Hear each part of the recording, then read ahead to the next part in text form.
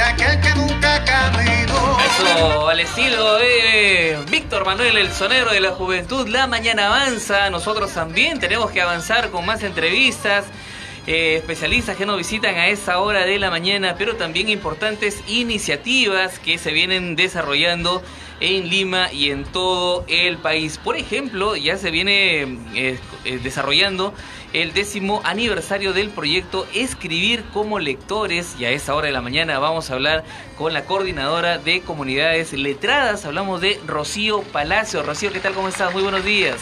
Muy buenos días, Michael. Muy contenta de estar en la cabina. Cuéntanos un poquito este, de este proyecto Escribir como lectores. Bien, Escribir como lectores es una iniciativa de tres instituciones importantes, Fundación SM, la Asociación Española de Lectura y Escritura AL y la Asociación Comunidades Letradas que yo coordino. Eh, Escribir como lectores es un programa iberoamericano. Ah, qué bueno. Eh, hace 10 años empezó en Perú, Argentina y Chile. Actualmente se ha extendido a 7 países y este día, hoy, celebramos el décimo aniversario. Hoy día, hoy, es la fecha central. Es la fecha central. Eh, la finalidad principal del proyecto, del programa, hoy en día ya programa, es fomentar la escritura de diversos tipos de textos, de diversos géneros discursivos a partir de la lectura de una obra literaria. Ya. Entonces, eh, para trabajar el programa, todos los chicos reciben de manera gratuita, gracias a Fundación SM, un libro original. Ya. Eh, ¿Qué tipo de lecturas son las que se le acercan a literaria, estos chicos? Lectura literaria, generalmente novelas, cuentos.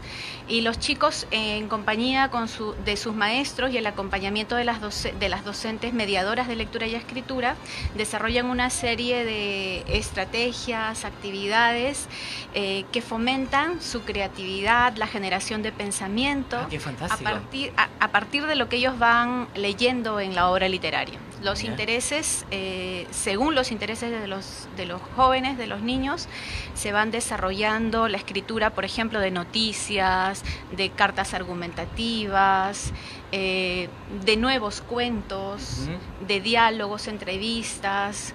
El programa tiene gran riqueza en, en, cuanto a puede flexibilizar mucho la, la, y posibilitar la expresión Ahora, Rocío, ¿se está trabajando en algunos distritos específicamente o algunas regiones en el Perú? Sí, nosotros hemos trabajado actualmente, hemos llegado a 22 colegios nacionales a lo largo de estos 10 años. Empezamos en la zona de Lima Norte, Ventanilla, en el RIMAC. Tuvimos una experiencia también en Trujillo, en algunos colegios del Porvenir, La Esperanza y Altomoche. Ah, los distritos de, Trujillo. Trujillo. Claro. Posteriormente, en los años sucesivos, hemos trabajado, en, nos hemos enfocado más en la zona de Chorrillos, Surco, San Miguel, San Juan de Miraflores y Villa El Salvador en este año. Ahora, ¿tú cómo ves el comportamiento de los chicos? ¿Cómo han adoptado este tipo de iniciativas que tienen ustedes de poder acercarles un libro? Eh, porque por lo general a veces en los centros educativos eh, se les dan eh, lecturas, pero como tareas, y son libros tan voluminosos que a veces ellos no le encuentran el interés necesario para poder desarrollar ese hábito saludable que es la lectura. Sí, bueno, el, los chicos acogen la obra con, mucho gusto. Primero es una sorpresa para ellos, porque recibir un obsequio de esa naturaleza a veces no lo esperan, es una sorpresa, dicen, bueno, alguien se acordó de mí, gracias, eh, y luego el, el interés, eh, el interés de, el, digamos, la, el primer momento, el primer contacto va creciendo eh, en el interés de saber leer, pero de la mano de los, de los profesores. ¿no? Los profesores reciben talleres de capacitación previos, eh, con lo cual se empoderan de ciertas estrategias y organizan prácticas sociales de lenguaje para que los alumnos pues, eh, vean que la lectura es algo más que simplemente poner los ojos en un texto y responder un examen, claro, sino que la lectura permea todas las facetas de tu vida. Gracias a la lectura tú puedes imaginar, puedes sentir, puedes reflexionar. Hay un mundo creativo por descubrir definitivamente. Así es, y también la lectura te ayuda a actuar en la sociedad de manera más empoderada, con mayor sentido, con propósito. Rocío, ¿estas capacitaciones que ustedes le brindan a los docentes tienen alguna ayuda del Ministerio de Educación? Porque si eso es una iniciativa interesante definitivamente para el sector educativo, creo que no, no sé si ustedes cuentan con ese apoyo del Ministerio. En, pues no, en realidad un apoyo oficial del ministerio no, pero sí trabajamos en colegios nacionales y los colegios nacionales nos, nos abren las puertas. Qué bueno.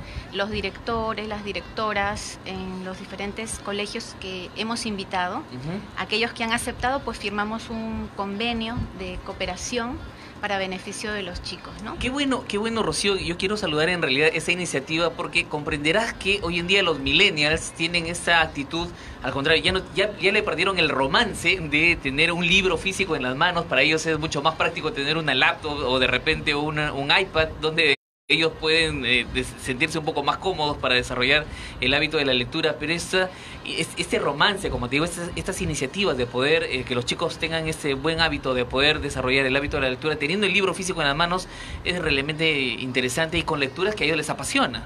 Claro, sí, definitivamente eh, nosotros no estamos al margen de las prácticas letradas vernáculas de los chicos, es decir, las prácticas espontáneas. Y hoy en día, pues, todas las redes sociales, todas las páginas web, eh, los blogs y demás tienen, calan mucho en los chicos, son prácticas espontáneas y también los hacemos escribir utilizando esos soportes, esas plataformas, los hacemos incluso interactuar, chicos entre diferentes colegios, incluso en algún momento hemos interactuado con compañeros que desarrollan el escribir como lectores en otros países ah, en simultáneo. ¿no? Qué interesante. ¿Y cómo va la experiencia en provincia? Porque solamente nos han mencionado Trujillo, pero han tenido un acercamiento a otras regiones. En realidad es ahora un sueño, algo que estamos proyectando, ojalá se concrete el poder abarcar también, eh, llevar, escribir como lectores a otras provincias. Claro, porque en esos 10 años me imagino que ha sido intensa esa, esa actividad y esa capacitación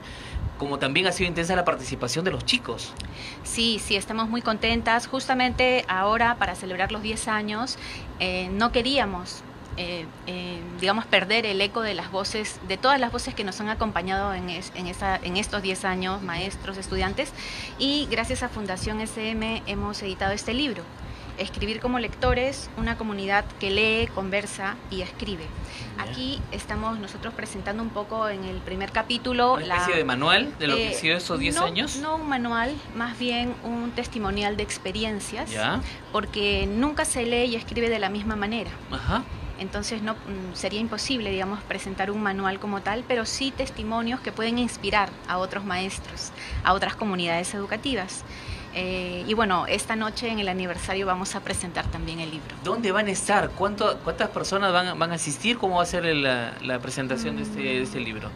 Bueno, el libro se va a presentar en, la, en el local de la Sociedad Nacional de Industrias esta tarde. Eh, a las 6 de la tarde. ¿A las 6 de la tarde? Sí. Eh, tengo entendido que hay una, digamos, una lista de, de, personas que han confirmado participación.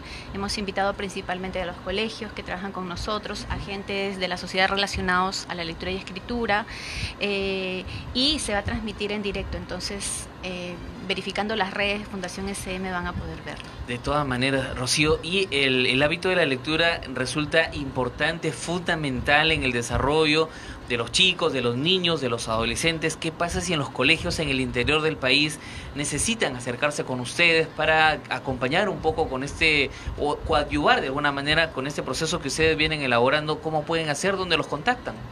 Eh, bueno, pueden contactarnos a través de las redes de Fundación SM y a Comunidades Letradas directamente al correo electrónico comunidadesletradas.gmail.com. Y escribir como lectores es este, es este proyecto que ya se viene desarrollando en nuestro país. Es el décimo aniversario que precisamente lo están eh, celebrando el día de hoy.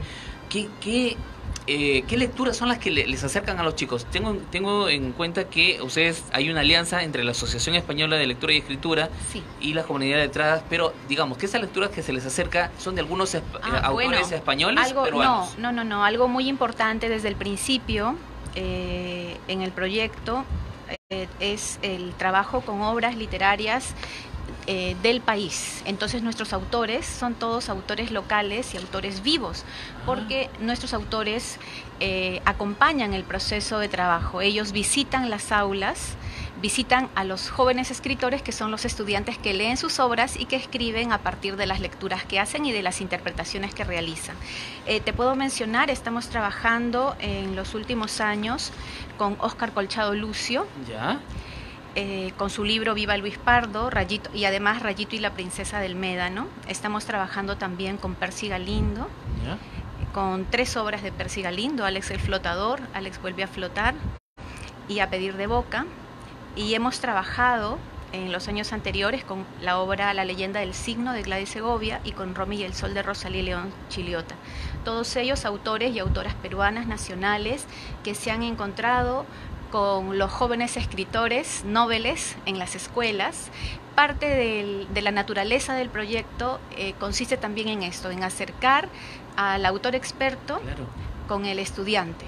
Eh, y generar una serie de interacciones que benefician a ambos, ¿no? Claro, Porque los chicos les dan recomendaciones para sus obras y reciben también, eh, digamos, el impacto emocional y sugerencias para poder mejorar sus, sus libros. eso es fantástico, esta experiencia, tener el contacto con el autor de, del libro, porque también se, se pueden intercambiar experiencias y más que todo los chicos ven en, los mayores, en los escritores, un ideal, una persona a quien seguir, un modelo a, quien imitar. Entonces los escritores vienen siendo o cumpliendo esta labor, ¿no? Qué, interesante. Sí, estamos nosotras súper contentas porque el programa, por la integralidad que tiene, es decir, trabajamos con docentes, llevamos autores a los colegios, permitimos generar interacciones, alcanzamos, ponemos a disposición de los estudiantes y ahora también de los maestros libros. Eh, esto permite que ellos puedan empoderarse de sus prácticas sociales de lectura y escritura. ¿no? Es, eh, vamos formando lo que nosotros denominamos y, lo que la ciencia también denomina comunidades de lectores y escritores. Así es, y desde acá, desde la radio, también motivamos para que los chicos eh, desarrollen los hábitos de lectura que son realmente importantes y los padres de familia ayuden a cultivar también en sus hogares esos sanos hábitos. Muchísimas gracias, Rocío Palacios. Una vez más la invitación, por favor, ¿dónde se va a presentar este libro? Eh, en el décimo aniversario del proyecto Escribir como Lectores en la Sociedad Nacional de Industrias a las 6 de la tarde del día de hoy. Muchísimas gracias Rocío Palacios, coordinadora de comunidad de letradas del proyecto Escribir como Lectores. 11 de la mañana con 26 minutos. Es el momento de hacer una pausa y regresamos con más invitados hoy en ¿Qué hacer? por Nacional. Ya regresamos.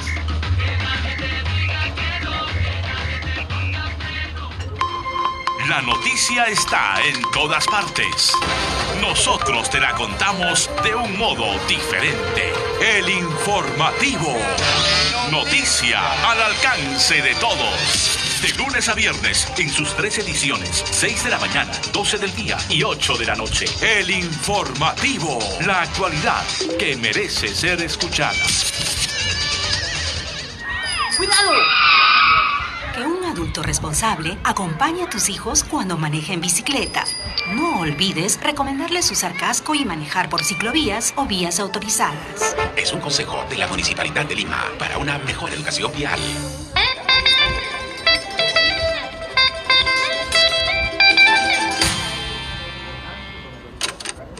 Si el desamor te suena esto. Solo quedan las ganas de llorar. El romance, así. Yo no te pido